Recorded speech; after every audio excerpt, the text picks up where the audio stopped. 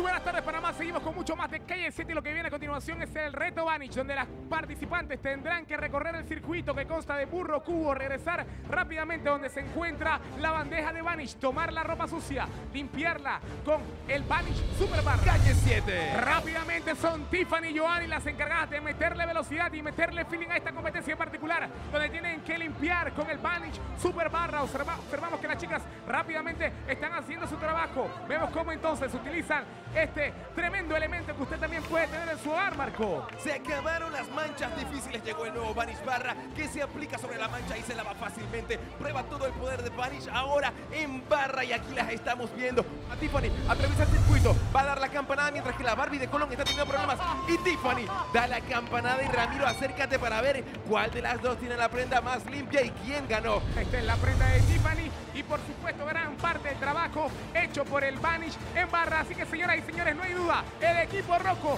suma los 100 puntos y se lleva esta prueba gracias a los amigos de Vanish.